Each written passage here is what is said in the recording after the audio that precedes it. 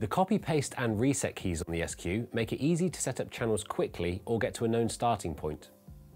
To copy processing settings from the currently selected channel, hold the copy key and press one of the processing in keys. Then just hold the paste key and press any green Sel key to paste these settings to another channel.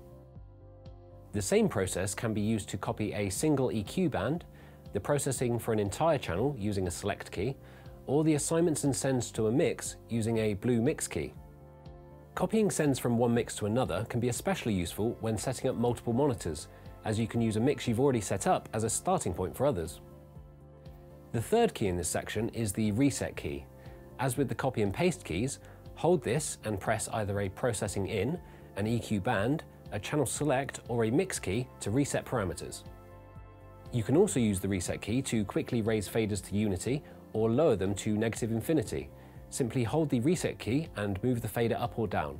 You can use this method to accurately and instantly set send levels to 0 dB.